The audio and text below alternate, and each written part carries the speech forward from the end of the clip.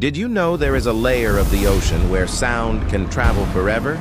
It is called the SOFAR channel, or the Deep Sound channel.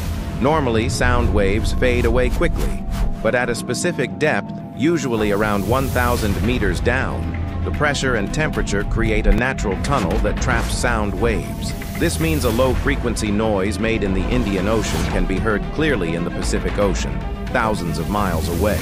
During World War II, the U.S. Navy used this layer to track enemy submarines across the entire planet. They dropped microphones into this zone and could hear engines starting up on the other side of the world. But here is the scary part. Whales use this channel to communicate across oceans. That means if a monster screams in the deep sea off the coast of Japan, something in California can hear it. There are no secrets in the deep. Knowledge is a gift best shared.